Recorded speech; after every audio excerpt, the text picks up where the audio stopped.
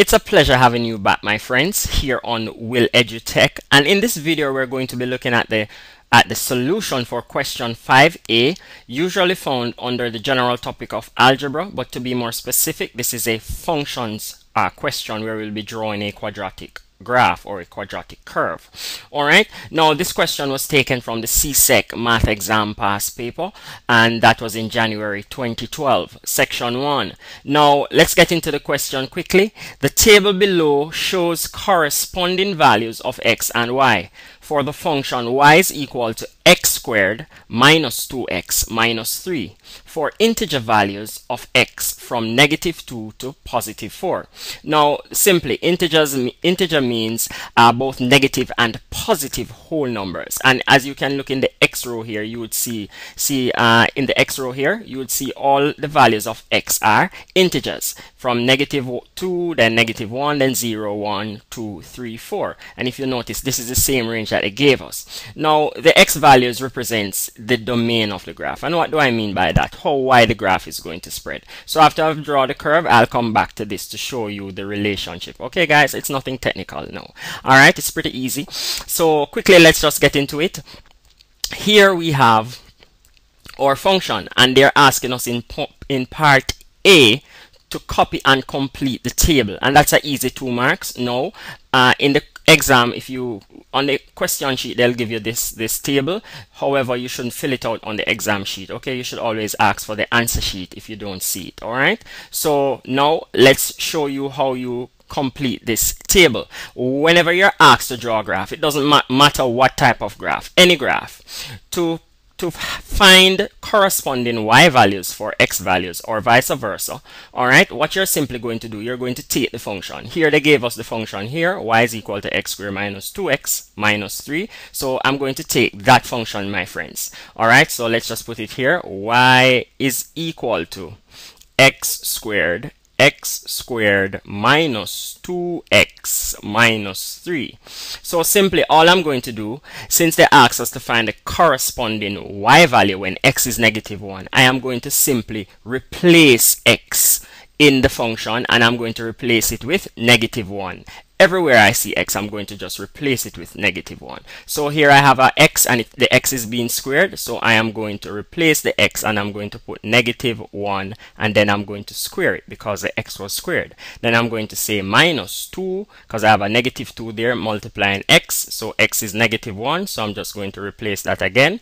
And then I'm putting my minus 3 at the end. So simply all we're doing is just to calculate this now to get the corresponding y value. So I'm saying y is equal to negative negative 1 squared. And, and remember, okay, the, the, the the 2 up here tells you how many times the base is multiplying itself. So I could just write negative 1 square another way by saying this is negative 1 times negative 1, okay?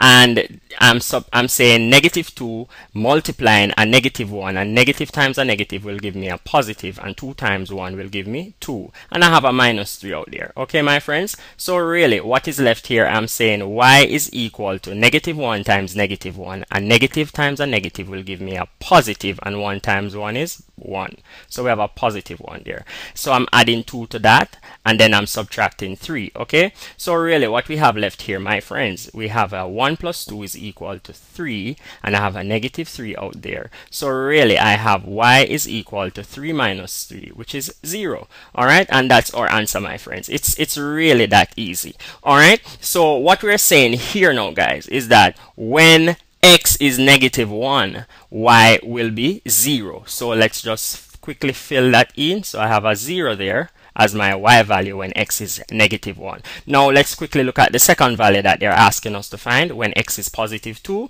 What will be the value of y? So simply, again, it's the same process. Let me just change my color quickly. So let, let's just work it work it here.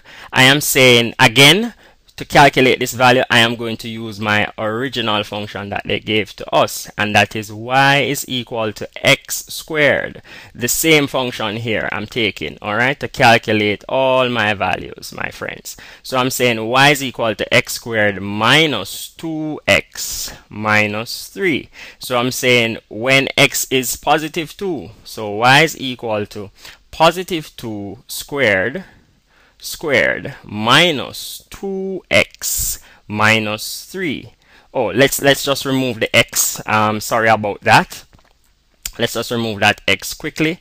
Yes and replace it with a positive 2 all right times 2 minus 3 so simply I'm saying here 2 is multiplying itself 2 times so this is 2 times 2 not this 2 but this is really saying 2 times 2 okay? That's what it is saying. I'm writing 2 squared another way because the power tells you how many times the base is multiplying itself and a negative 2 times a positive 2 will give me a negative 4 and I have a minus 3 there. Okay my friends so what this is saying really is y is equal to 2 times 2 will give me a positive 4 and I have a negative 4 there and minus a 3 okay?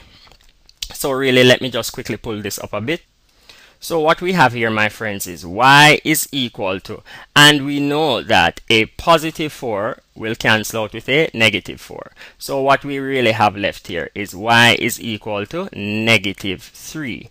And that's our answer, okay? That's our answer. So what this is really saying, when x is positive 2, and let, let's just fill that in quickly. When x is positive 2, y will work out to be negative 3, okay? And, and that's pretty much it. So now we have completed our table by finding the corresponding y values. Alright, so in the next video, we'll be looking at part B, where we'll be drawing our graph on our Cartesian plane. Okay, so stay tuned, my friends. Bye-bye.